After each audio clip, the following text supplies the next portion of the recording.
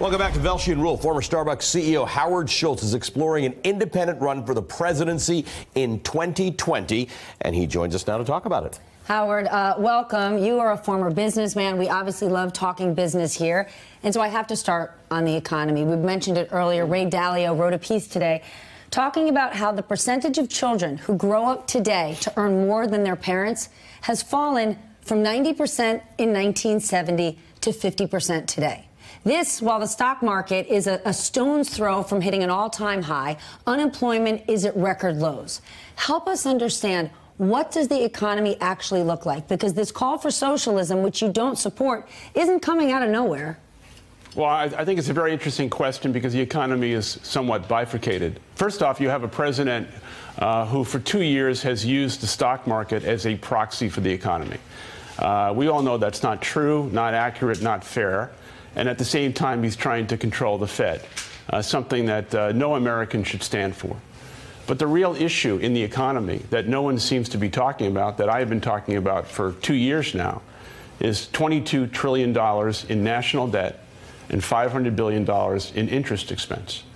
And what I would, I would ask a rhetorical question for all the Democrats that are running for president who have been in national office, who, are, who have one idea after another every single day, where have they been on this terrible, tragic issue that's facing every American? And in terms of children and grandchildren, this national debt is, on, is immoral because it's on, going to be on the backs of them for the future of America. This is a national security issue.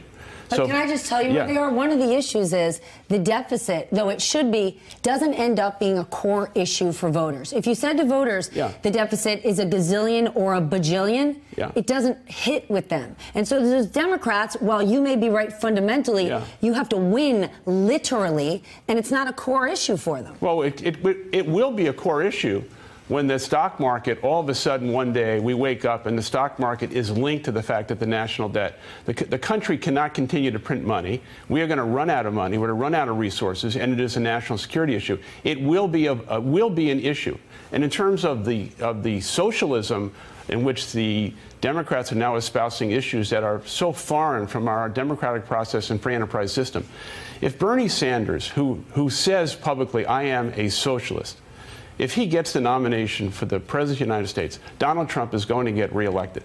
And for some reason, if Bernie Sanders is going to be the next President of the United States, that would be a disaster for our country so, and a disaster for the economy. We, we, you've got a good audience with us talking about debts and deficits. Let's yeah. go back to 1969 and take a look at debts and deficits around this country.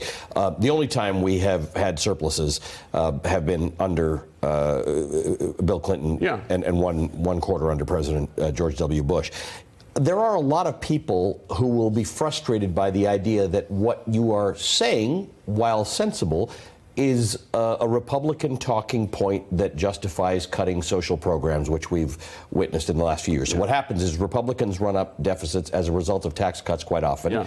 and then say, "Oh well, we can't afford our social programs because look how serious our debt is." Yeah. And so the only people who get messed up out of this are people on government assistance, people who are you know on food stamps yeah. and things like that. So, so let, let, me qualify that because I think this is important. Uh, during President Obama's eight years, mm-hmm. Republicans McConnell, Boehner, and Ryan banged on President Obama for eight consecutive years on the debt and the deficit. Trump comes in. Where are the Republicans? For two years mm-hmm. now, we don't hear a voice.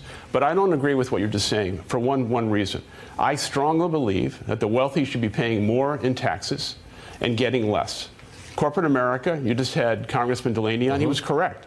The corporate tax rate should not be 21%, it should be 25, 26. Mm-hmm. And use that money to benefit those who have less. But we must have a transformation of our tax policy, and the wealthy in this country and corporations should be paying more. And use that money responsibly to help out people who are, paying, who, are, who are not getting what they need from the American society. But let me just say one thing that's so critically important. I said earlier we have a bifurcated uh, economy.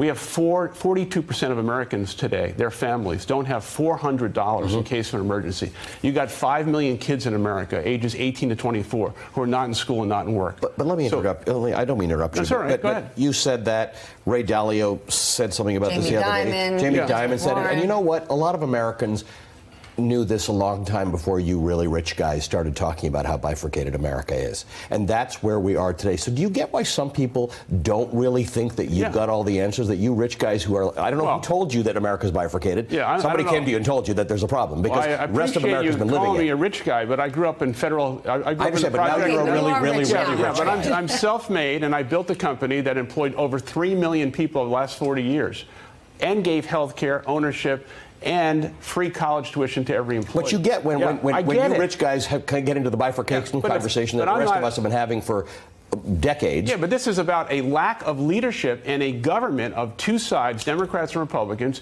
who are unwilling to face the issues and solve America's problem. Why do we have a 20, $22 trillion debt? Why do we have a health care crisis? Why do we have K through 12 that's not working? Why is our standing in the world not working? Because of both parties' ideology and unwilling to work together. That's why I'm considering running for president. But Why is everybody but to break the if that's true, why is Britain bifurcated? Why is France bifurcated? Why is Germany bifurcated? Why were the Arab countries bifurcated? It's not actually about Democrats and Republicans. It's about rich people who don't pay taxes, who don't understand that it's not about charity. It's actually about wealth distribution. Right? Why, if that's your explanation, why is Wait, Britain I- I- bifurcated? wait, we, we now we're going to talk about what's going on. no, but you're telling me I'm that our talking about- bifurcation, economic bifurcation in America, is because of Democrats and Republicans not agreeing on policies?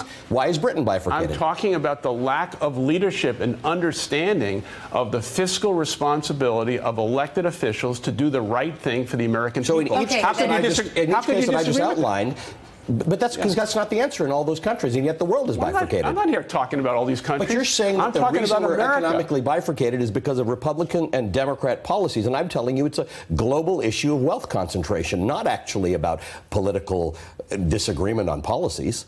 Do you, you want to talk about each country? You want to put China up here? No, but You I think talk- we can cut this any way you want, right? The, the, uh, how many You're rich wrong. people in America You're wrong. could have the wealth of the bottom half of society? How many rich people in the world have the same wealth as the bottom three and a half billion in society? Oxfam says it's under 10. Listen, What, about 28? I didn't create I the understand that. policies that. we are now under. I'm here to tell you that I am looking at the current situation economically in this country, and if you want to solve the problems, you have to have the kind of leadership that cooperates with one another and is not steeped in ideology. Okay, then I'm Howard, sure you but can here's agree the with that. issue. But then Yeah, here's I guess the I don't- I don't understand how that- Hey, but don't know how can take-? But but you can go from understand. ideology. I, am really clear on how economic bifurcation works. I'm concerned that bifurcation, so- solving the problem. Right, but, the, the, but so so Let me ask you this. Republicans and Democrats me- not agreeing is why No. Germany is Can I ask you one simple question? Yeah. Please. Should we be spending less than we're taking in? It all It's a depends yes or on no- where- it- no, no. it's, it's not a yes or no. It's absolutely not a yes or no No, it's really not. If you're in a recession and you are you need to stimulate the economy and you have get a return We're on not investment. in Hold a- on, let me wait, just let, you asked me a question. we're not in a recession. Right, but but the answer in that case might be yes. Yeah. So it's not a yes or no question. So suggesting that How about right more now? that you're taking how, no, in. how about right now? In this moment in time when you just put up these numbers about the economy going so well, should we be spending less than we're taking in? We have to understand what we're spending. We have You don't want to answer the question. No, I, I, I'm actually answering it in a nuanced way that doesn't suggest that there's a simple answer to, to, to these complicated questions that, that plague No. the world. Okay, in all fairness, it's not complicated to me. I understand When we that. have such a robust economy and we're spending much more than we're taking in. And why? Because the Democrats and Republicans and this president are not doing what they need to do. Right. But That is to reduce this national debt that we have. Let's say you have the best ideas to do so. We Yeah. have to talk about a path and process for a moment. Yeah. Because you talk about Mitch McConnell, and while he might not be inspirational, he might not be somebody I want to have over for dinner. Yeah. He's a tactical beast. Yes. And let's say you end up in Washington, Yeah. you can end up in President Obama's position where Mitch McConnell said, Thanks for playing. I'm about to block you on everything. So you don't have the expertise or the experience. How do you take these ideas and take this whole tent? By the way, if you ran against John Delaney, your ideas are somewhat similar. You might knock that guy out. How? Where is your Okay. path to Okay. win and to govern? There's Yes. a process, Okay. and you're outside of it. Am I going to be allowed to answer this question without being interrupted? Okay, thank you. So here it is. First, let's talk about the theory of the case, okay? First and foremost. In the last 30 plus years, only 8 to 10 battleground states have decided the presidential election. If I enter the race, over 40 states for the first time in 30 plus years will have an opportunity in which your Republican or Democratic vote in a red or blue state will really matter. That changes everything. So there's a path to 270, and it's real. And it's real because not only of the math, but because the country is so divided, fed up, exhausted, and disgusted by our political system. And that's a fact. You put up a, a stat before that 50% of Americans don't trust Facebook, 71% of the Americans don't trust our government. We need a change. That's the first step. Second thing is now, for the first time since George Washington, if an independent person, if I run and am fortunate enough to get to the White House, can you imagine the historic mandate for the first time in over 200 plus years? We don't want a Democrat, we want a Republican, we want an independent with common sense solutions and leadership skills who has built a global enterprise in 77 countries, understands the world, Russia, China, Syria, the Middle East, this whole aspect and has proven you can build a company and reward your people at the same time. So, what do I believe? The American people are going to say to all the Republicans and all the Democrats if you don't work with this independent person who's running for president, we're going to fire you. So you're running for president? Yes or I'm no not, answer. I'm not, question. Oh, that's the question. yes or no answer. I'm not here to say that today, but I'm, I'm cautiously optimistic. I'm on a bus tour next week in Kansas. I've been traveling the country for the last almost 11 weeks, a different city and every day.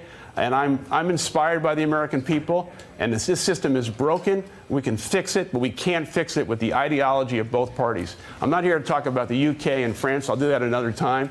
But I, I love America, and we can fix these problems. All right, Howard, thank you for being with us. Good luck. We look forward to hearing about when you declare that you're running for president. What a spirited conversation. That's what No, that's what it's about. We're a taking it- respectful, spirited conversation. That is what the United States is about.